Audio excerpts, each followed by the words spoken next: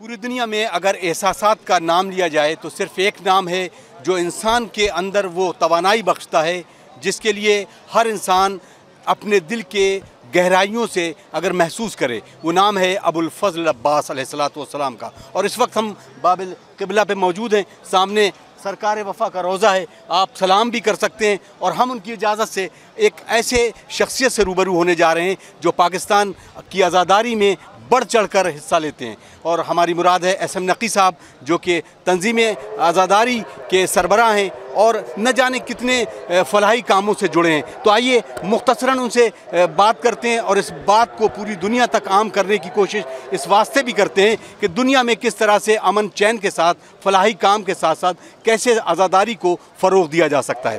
بہت بہت خیر مقدم ہے نقی صاحب آپ کا۔ پہلا سوال جو یہ ہے کہ کربلا میں آنے کے بعد جو احساسات ہوتے ہیں وہ ہم سے آپ شیئر کریں۔ اعوذ باللہ من الشیطان الرجیم، بسم اللہ الرحمن الرحیم، اللہم صلی علی محمد وعلی محمد۔ سب سے پہلے تو میں آپ کا شکر گزار ہوں انڈیا کا ٹی وی جو آپ کا ہے، چینل۔ ان کا بہت مشکور و ممنون ہوں کہ آپ نے یہاں پہ ٹائم نکالا۔ ہم اس وقت مولا عباس کے حرم پہ کھڑے۔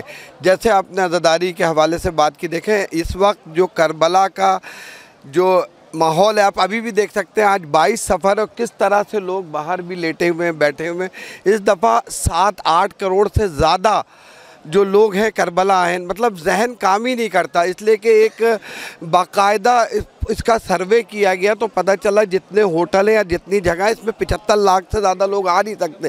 یہ ایک موضع ہے کربلا کا کہ کربلا بڑھ جاتی ہے اتنے لوگ یہاں سما جاتے ہیں اور ایک انسانیت کا درس ملتا ہے۔ اگر جو لوگ یہاں آ کے دیکھیں گے تو انہیں پتہ چلے گا اس قدر مطمئن ہوتا ہے ہمارا دل جب ہم کربلا میں آتے ہیں، جو دیکھتے ہیں، یہاں کے جو لوگ خدمت کر رہے ہوتے ہیں، مقامی بھی اور باہر باہر کے بھی ہمارے پاکستانی انڈین بھائی یو کے سے، امریکہ سے، آسٹریلیا سے، پوری بنگلہ دیش سے ہر جگہ سے لوگ یہاں آئے ہوئے ہوتے ہیں، اپنے موقف لگائے ہوئے، باقاعدہ لوگوں کی، عزاداروں کی جس طرح سے خدمت کر رہے تھے، وہ دیکھ کے دل باغ باغ ہوتا اور یقین مانے میں تو موقع پہ کھڑا ہوا ہوں اور کافی دیر اتنی سخت دھوپ اور لوگوں کو جاتے ہوئے دیکھا تو میں ہر وقت آنسو نکلتے رہے کہ کیا مولا کی شان ہے میرے مولا حسین کی کہ آپ دیکھیں کس طرح سے یہ زوار آ رہے ہیں۔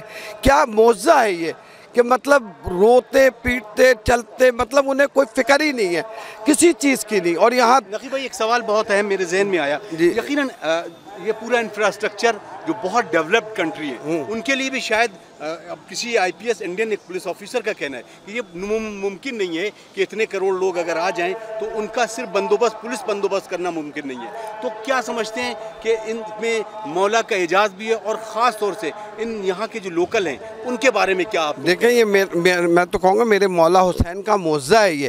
مطلب دماغ نہیں کام کرتا ہم ہر جگہ گئے دنیا کے ہر علاقے میں گھومے۔ دیکھیں میں نے حج بھی کیا حج میں بھی آپ کو پتا ہے پچیس سے تیس پینتیس لاکھ لوگ آتے تو وہاں بھی انتظامات حکومت نہیں کر پاتی، اس طرح جس طرح کے ہونے چاہیے تھے۔ باتھ روم خراب ہوتے ہیں، گندے ہوتے ہیں، عجیب حالت ہوتی ہے کئی جگہوں پہ۔ منا میں عجیب کنڈیشن ہوتی ہے، لوگ پریشان ہوتے ہیں، لیکن یہاں تو پچیس تیس لاکھ کیا کروڑ، سات آٹھ کروڑ لوگ آئے ہوئے یہ ممکن نہیں ہے کوئی بندوبست، یہ قدرتی کر رہی ہے موزہ ہے جو بندوبست ہو رہا ہے۔ کسی کو نہ کھانے کی فکر ہے، اس لیے کہ ہر چیز یہاں دستیاب ہے۔ نہ واش روم کی پرابلم ہے، نہ سونے کی، نہ لیٹنے کی، نہ کسی چیز کی۔ سب عبادت عبادت میں مشغول ہیں اور یہ پروردگار کا موزہ ہے۔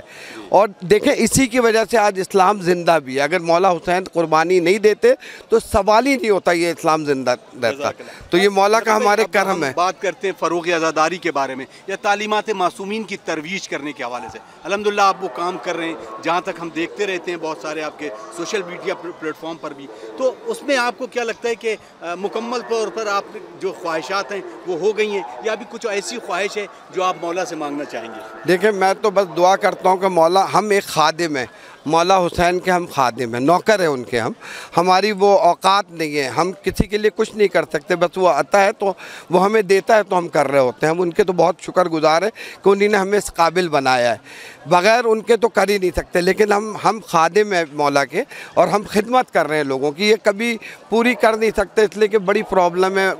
جہاں تک ہم دعا کرتے ہیں کہ مولا ہمیں اس قابل کرے، ہم ہر کسی کی مدد کر سکیں۔ یہ ہر وقت، ہر نماز میں میں دعا کرتا ہوں۔ سارے لوگ گو کہ جتنے مومنین، مومنات ہیں ان کی پریشانیاں ان سے دور کریں، خوشحال رہیں تمام لوگ۔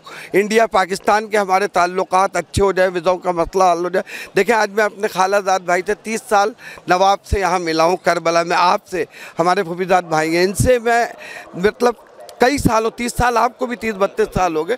اتنے سال ملا کربلا وہ زمین ہے جو سب کو ملا رہی ہے۔ بہت سے لوگ ہیں جو آتے ہیں کربلا میں ملتے ہیں۔ تو ہم پر مولا سے دعا کرتے ہیں کہ ہمارے پاکستان ہندوستان کے تعلقات ایسے کر دیں آپس میں کہ ہم ایک دوسرے کے پاس مل سکیں آ سکیں جا سکیں کاروبار کر سکیں۔ تو ہماری تو ہر وقت یہ دعا رہتی ہے اور ہم آپس میں پیار محبت سے رہتے ہیں۔ یہاں بالکل نہیں پتہ چلتا کہ انڈیا نہیں پاکستانی ہے۔ سب پیار محبت سے مجلسوں میں بیٹھ رہے ہیں آ رہے ہیں جا رہے ہیں نوئے پڑھ رہے ہیں نو خانی ہو رہی ہے، ہر طرح سے۔ ادھر ایک انسانیت کا درس دیتی ہے کربلا۔ کربلا وہ جگہ ہے۔ بہت بہت شکریہ۔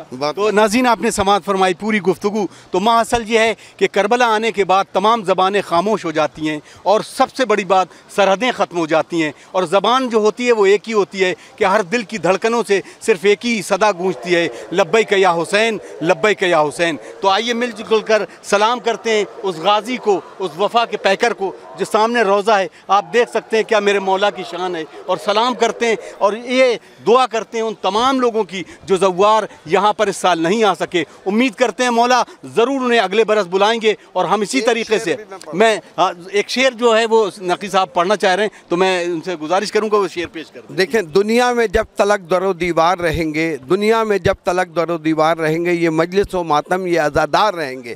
یہ کہہ کے نکالا گیا کعبے سے بتوں کو یہ کہہ کے نکالا گیا کعبے سے بتوں کو اب صرف یہاں حیدر کرار رہیں گے۔ بہت شکریہ۔ تھینک یو تو آپ نے خوبصورت شعر بھی سماعت فرمایا، تو آپ ہمیں اور ہماری ٹیم کو دعاؤں میں یاد رکھیے، انشاءاللہ اگلے کسی اور شخصیت سے روبرو کرتے ہیں۔ واخر الدامانہ الحمدللہ رب العالمین۔ والسلام علیکم ورحمۃ اللہ وبرکاتہ۔